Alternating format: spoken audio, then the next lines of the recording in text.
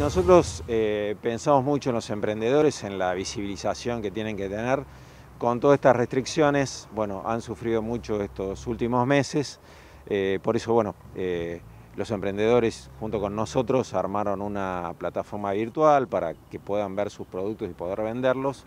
Pero bueno, ahora ya pudimos arrancar con, la feria aquí en el centro y estamos proponiendo, bueno, sábado y domingo por, por el mes de julio para que puedan este, recuperar algo de lo que han, de lo que han perdido. Totalmente. Después va a volver los días sábados, los días domingos. Los días domingos, sí. Después va a volver los días domingos en el, en el horario de la tarde hasta hacia la noche. Este primer fin de semana, eh, ¿cómo ha sido la respuesta de la gente? Muy buena la respuesta, la verdad que hubo muy, muy buenas ventas y bueno, y, hay muchos emprendedores nuevos que quieren, quieren venir a, esta feria, ¿sí? ya sea, bueno, nos han hablado de, de otros municipios también que quieren, quieren estar participando también acá.